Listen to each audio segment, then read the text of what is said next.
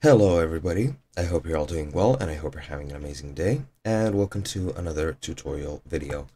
In this video, I'll be explaining to you guys how you can edit your profile on Quora. So let's get right into it. Before I start, Quora is a website where you can uh, ask questions or post questions or actually answer the questions of others. Uh, it is very similar in Facebook as you can see through the layout. I am on the web browser version. Uh, so yeah, those are some of the basics of Quora. However, the way you can actually change your profile on Quora is you go to your profile tab here. You will see your profile icon. I have logged in via Google. You can do that. You can either create a Quora account yourself. Uh, you can log in through other services as well. I think you can log in through Facebook. Uh, so yeah, through whatever service you through through ever which service you log into, you will see your profile icon.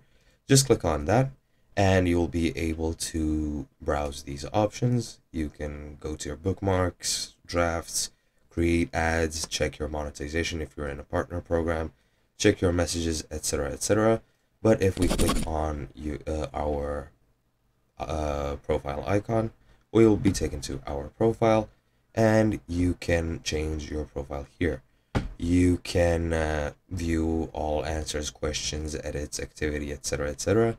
You can add your credentials and your highlights, uh, location, education, and employment. You can add topics which you know about, and you can also go into, uh, yeah, you can edit your account name here by going to your account name and just clicking edit.